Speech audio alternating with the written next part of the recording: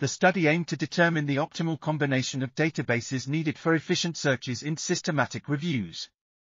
The authors analyzed the actual retrieval from original searches for 58 published systematic reviews and found that the combination of Embase, Medline, Web of Science Core Collection, and Google Scholar performed best, achieving an overall recall of 98.3 and 100% recall in 72% of systematic reviews.